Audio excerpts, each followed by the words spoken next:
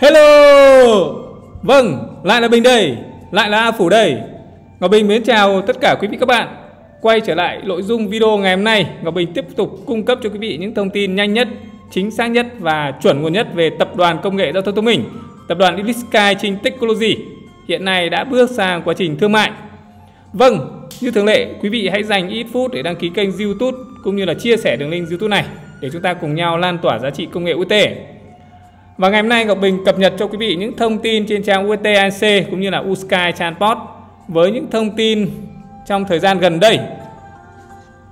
Đầu tiên chúng ta cập nhật thông tin trên trang UTIC, bài viết ngày 19 tháng 3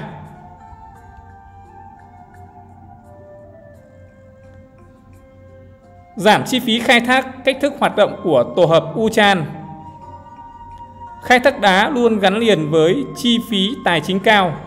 Uchan tổ hợp cơ sở tầng và vận tải tự động trên mặt đất của USTIC có thể giảm bớt chúng. Được thiết kế đặc biệt để vận chuyển hàng rời một cách hiệu quả. Nó thay thế công việc của hàng chục xe ben. Xem bài viết của chúng tôi để biết thêm thông tin về khu phức hợp này. Tại sao sử dụng xe ben lại tốn kém? Hoạt động khai thác đá điển hình trông như thế nào? Dòng xe tải vô tận chở đầy đá trồi lên ngoằn nghèo và đi xuống để lấy mẻ mới. Tất cả đều hoạt động như một hệ thống duy nhất theo một lịch trình nghiêm ngặt. Để đạt được kết quả này, cần có sự làm việc của hàng trăm chuyên gia lành nghề. Nhưng đây không phải là điều kiện duy nhất ảnh hưởng đến hoạt động trơn tru của nó. Điều kiện thời tiết cũng rất quan trọng. Trong thời gian trái mùa vào mùa thu và mùa xuân, lượng mưa có thể phá hủy lòng đường. Con đường này cần phải được sửa chữa liên tục vì mỗi ổ gà hoặc hố đều tạo ra một tải trọng đáng kể lên hệ thống treo của xe ben. Độ mòn của cơ cấu trong các hoạt động như vậy cao và mức tiêu thụ nhiên liệu cũng cao, tổng chi phí vận chuyển đá chiếm hơn một nửa tổng chi phí của chủ mỏ.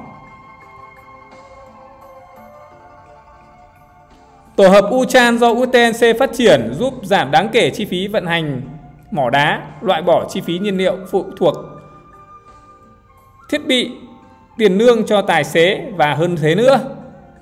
Tổ hợp Uchan được thiết kế như thế nào? Tổ hợp Uchan được thiết kế cho nhu cầu của ngành khai thác mỏ, có thiết kế theo mô đun. Điều này cho phép nó nhanh chóng thích nghi với mọi cảnh quan khu phức hợp bao gồm 5 thành phần chính đăng tải thiết bị đầu cuối, kết cấu leo cuối, tháp đỡ, kết cấu neo trung gian, thiết bị đầu cuối dỡ hàng. Tất cả các quy trình trong khu phức hợp đều được giám sát kép, hệ thống điều khiển tự động xử lý hầu hết các công việc. Đổ lại hoạt động của nó được giám sát bởi một nhóm nhỏ nhân viên điều phối làm việc theo ca. Bản thân phòng điều khiển có thể được tích hợp về mặt cấu trúc và cấu trúc neo. Thiết kế của nó cung cấp đủ không gian trống cho có thể được sử dụng để đặt trung tâm dịch vụ. Điều này rất thuận tiện vì nó cho phép kiểm tra kỹ thuật và bảo trì khu phức hợp cũng như là sửa chữa theo lịch trình và liên tục ngay tại chỗ. Khu phức hợp chỉ cần 35 người để vận hành, 8 nhân viên điều phối và 27 chuyên gia bảo trì các cơ sở công nghệ cùng với một trung tâm dịch vụ, quá trình đào tạo của nó sẽ mất khoảng 6 tháng. Đá được vận chuyển như thế nào? Cơ cấu liên tục nhiều bánh được sử dụng để vận chuyển hàng rời. Trên thực tế, nó là một vành đai vận chuyển hình vòng nằm trên cầu vượt đường dây dây bán linh hoạt. Thiết kế này ngăn chặn sự biến dạng cục bộ của đai và yêu cầu mức độ căng của đai ít hơn. Điều này giúp tăng tuổi thọ của dây đai lên đến 2 3 lần. Tốc độ vận chuyển đá đạt tới 10 m mỗi giây. Việc tải và dỡ hàng của nó được thực hiện mà không có sự tham gia của nhân viên bảo trì Khu phức hợp có thể hoạt động suốt ngày đêm, bất kể điều kiện thời tiết. Chiều dài của vành đai không có hạn chế, khoảng cách giữa các trụ đỡ của cầu vượt đường sắt dây đạt tới 1.500m trong một thiết kế đặc biệt. Có nghĩa là bạn có thể vận chuyển đá trên mọi địa hình và vượt qua hầu hết mọi chướng ngại vật. Độ nghiêng cần vượt đạt 55%. Tổ hợp Uchan có khả năng vận chuyển tới 100 triệu tấn đá mỗi năm. Ưu điểm của khu phức hợp Uchan là gì? Để chứng minh tất cả những lợi ích của việc sử dụng công nghệ UT, chúng tôi sẽ đưa ra một ví dụ rõ ràng. Hãy tính chi phí vận chuyển đá trên quãng đường là 10 km với công suất khai thác lên tới 15 triệu tấn trên một năm. Giả sử đội xe của chúng tôi bao gồm 50 xe ben 4 trục có tải trọng 25 tấn mỗi chiếc à, sẽ cần đến 150 tài xế để vận hành chúng. Khi làm việc theo 3K, họ sẽ có thể thực hiện 1.600 chuyến mỗi ngày và tiêu tốn 8.160 lít nhiên liệu trong thời gian này. Khoảng 3 triệu lít nhiên liệu sẽ được sử dụng mỗi năm với tổng chi phí là 175 triệu rúp Nga. Khoảng 170 triệu rúp Nga sẽ được chi phí trả lương cho nhân viên trong năm. Uchan sẽ cần 35 nhân viên trong điều kiện như vậy. Khu phức hợp này sử dụng lần lượt là 10.125 kWh mỗi ngày và 695.625 kWh của mỗi năm, tiêu tốn khoảng 25 triệu rúp Nga. Chi phí tiền lương cho nhân viên sẽ lên tới 15 triệu rúp. Chi phí nhiên liệu khi sử dụng tổ hợp sẽ ít hơn 7 lần, trong khi chi phí tiền lương sẽ ít hơn 10 lần. Mất bao lâu để xây dựng khu phức hợp? Việc vận hành Uchan mất từ 1,5 năm tùy thuộc vào điều kiện tự nhiên và khí hậu, đặc điểm thiết kế và số lượng đối tượng trong khu vực.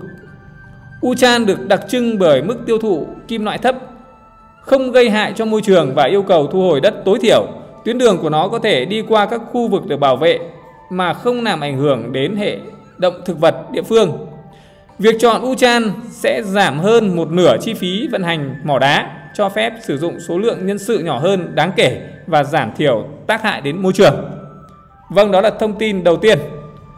Thông tin về việc cách thức hoạt động của tổ hợp Uchan sẽ giảm các chi phí khai thác như thế nào. Và tiếp theo chúng ta cùng đến với bài viết ngày 22 tháng 3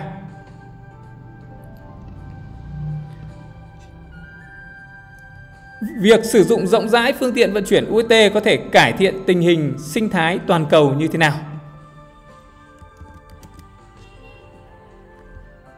Theo phân tích của cơ quan năng lượng quốc tế, lượng phát thải từ ngành năng lượng đã tăng lên vào năm 2023. Đồng thời, việc tăng cường sử dụng năng lượng sạch đã hạn chế đáng kể tỷ lệ này. Ulysses Sky Technology IC ủng hộ xu hướng này và đề xuất một giải pháp dưới hình thức giao thông vận tải thân thiện với môi trường và không gây ô nhiễm không khí. UPOT được cung cấp năng lượng bằng loại năng lượng thân thiện với môi trường, năng lượng điện.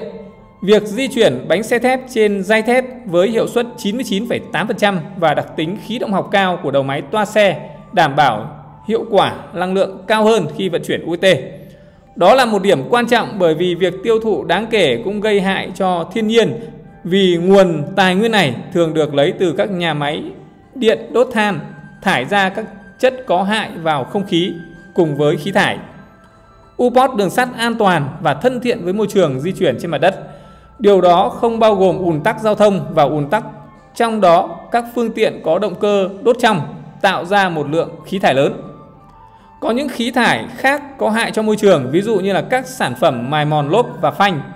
Vấn đề này được giải quyết tại UT Transport thông qua việc sử dụng bánh xe thép.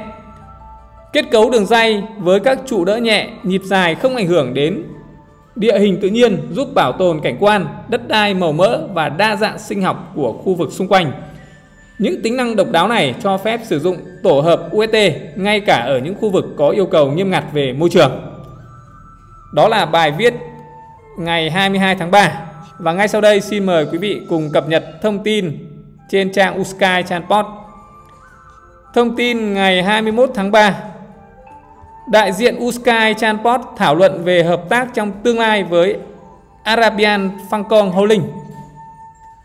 Arabian Funkong Holding, một công ty cổ phần đầu tư hàng đầu với nhiều lợi ích khác nhau, đang thực hiện sứ mệnh tăng trưởng và đổi mới chiến lược thông qua quan hệ đối tác tích cực với các công ty hàng đầu trong nhiều ngành khác nhau và đại diện của Arabian Funkong Holding mới đây đã đến thăm văn phòng của Sky Transport, nhà phát triển hàng đầu về giải pháp giao thông thông minh. Qua đó mở ra những triển vọng hợp tác mới trong lĩnh vực cơ sở tầng và giao thông và di chuyển di động với chuyến thăm này.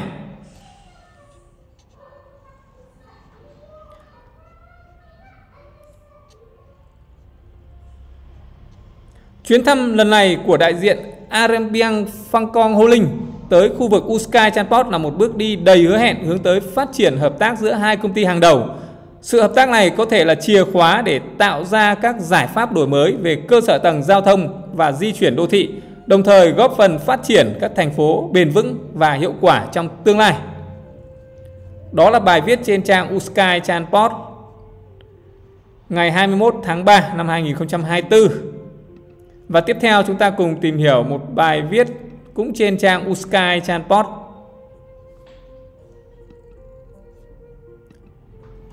Đó là thông tin vào ngày 18 tháng 3 năm 2024. Kiểm tra và chứng nhận Uber Carat tại đoạn không căng thẳng của test chắc 4. Tại trung tâm kiểm tra và chứng nhận Uskai, các chuyên gia của Uskai Transport tiếp tục một loạt các cuộc kiểm tra và chứng nhận cho loại xe Uber Karat mới nhất.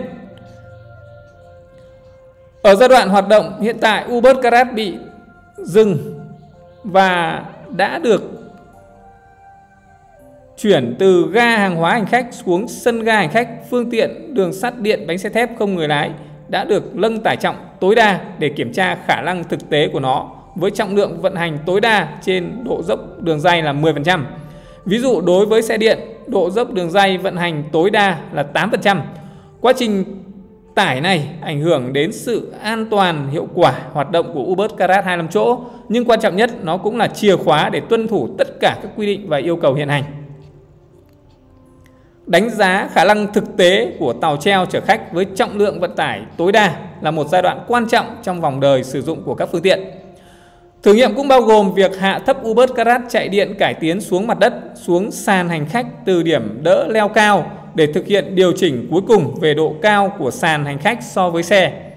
Việc điều chỉnh cuối cùng độ cao của sàn hành khách so với xe là một bước không thể thiếu trong quá trình vận chuyển hành khách và hàng hóa an toàn.